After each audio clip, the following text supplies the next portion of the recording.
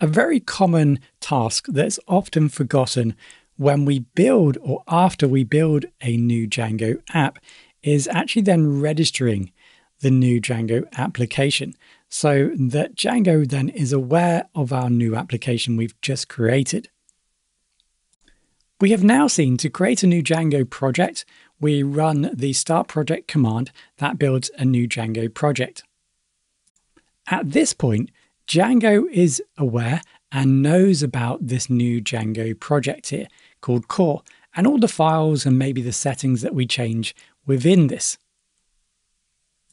I explained in the previous tutorial that our application is generally made up of multiple apps.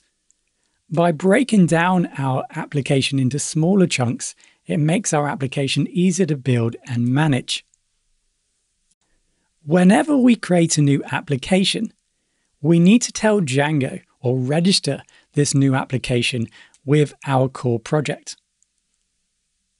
By registering our new app within our core project here, it means that whenever we run Django, Django will not only look for our core project folder, but it will also look for all the apps that is associated to our project. Now, this may not be very important at the start of your project, but once you start building models and views and templates and so on, Django is going to need to know about them. And it won't know about them in these individual apps unless we have told or have registered our new applications within our core settings file. This is a very simple process. Now, it might change, the process might change depending on where your application is or has been created.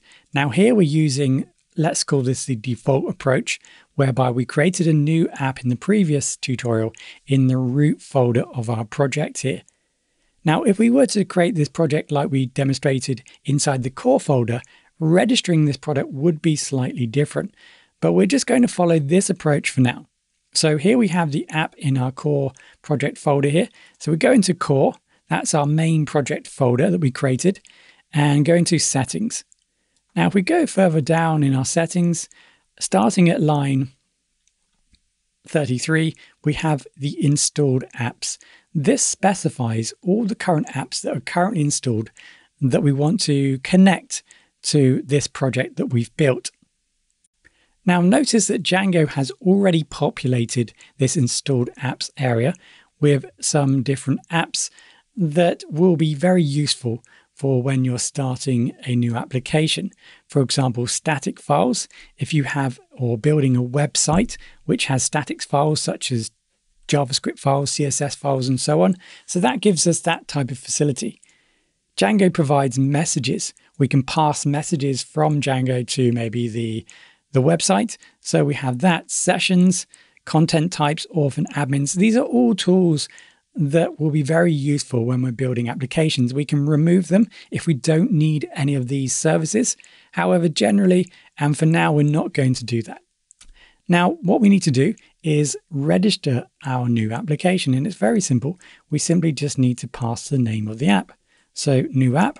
Now, I always recommend it's not necessarily needed, needed, but I always recommend to include the comma at the end because it's so easy to forget it when you build a new app, and then that will cause an error. So just out of practice, add a comma at the end.